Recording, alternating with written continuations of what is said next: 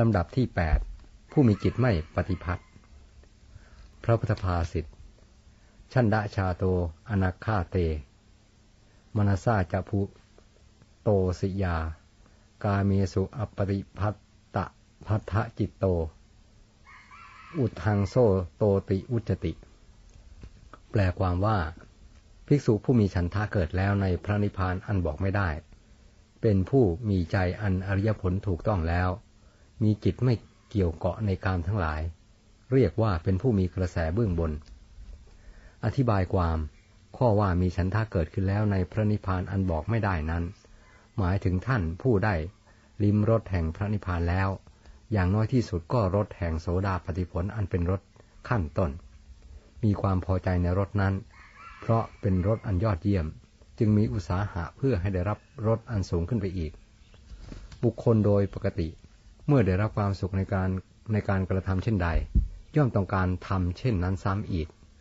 การพอใจกระทำซ้ำแสดงว่าการกระทำเช่นนั้นก่อให้เกิดความสุข ความพึงใจอย่างใดอย่างหนึ่งแน่นอน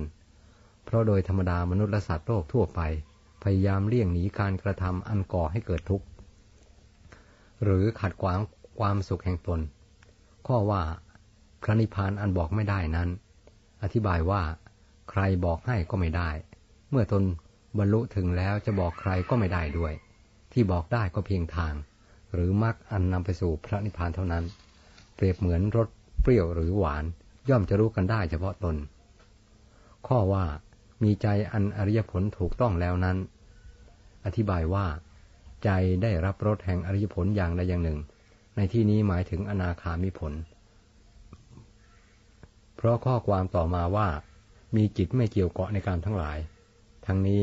เพราะพระอนาคามีละกามได้อย่างเด็ดขาดแล้ว ข้อว่าเป็นผู้มีกระแสเบื้องบนนั้น ความว่าพระอนาคามีเป็นผู้ไม่กลับมาเกิดในโลกนี้อีก ท่านไปสู่พรหมโลกชั้นสุดถาวาสแล้ว นิพพานในพรหมโลกนั้นทีเดียว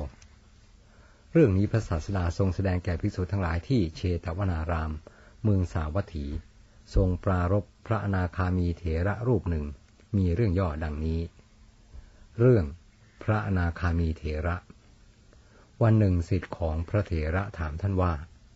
ท่านได้บรรลุมรรคผลอันเป็นคุณวิเศษบ้างแล้วหรือยัง เวลานั้นพระเถระเป็นพระอนาคามี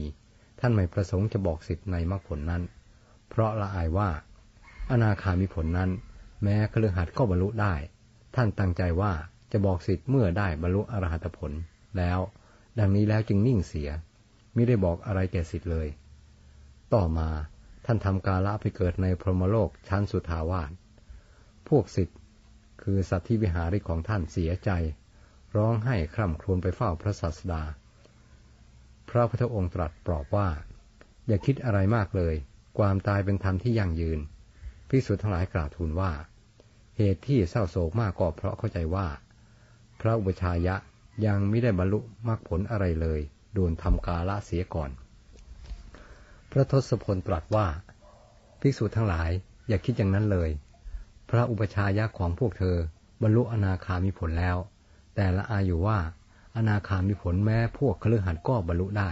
จึงไม่ได้บอกพวกเธอ เขาตั้งใจว่า เมื่อบรรลุอรหัตแล้วจะบอกเธอทั้งหลาย แต่ยังไม่ทันได้บรรลุทำกาลเสียก่อน บัดนี้ ท่านไปเกิดในเทวโลกชั้นสุทาวาสแล้ว วางใจเสถิดภิกษุทั้งหลาย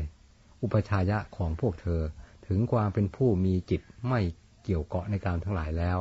เป็นผู้มีกระแสในเบื้องบน พระผู้มีพระภาคเจ้าตรัสต่อไปว่า ภิกษุผู้มีฉันทะเกิดแล้วในพระนิพพานอันบอกไม่ได้ เป็นผู้มีใจอันอริยผลถูกต้องแล้ว มีจิตไม่เกี่ยวเกาะในการทั้งหลาย เรียกว่าเป็นผู้มีกระแสในเบื้องบน มีนัยยะดังพรรณนามาแล้วแต่ต้น เมื่อจบเทศนาภิกษุทั้งปวงนั้นได้บรรลุอรหัตผล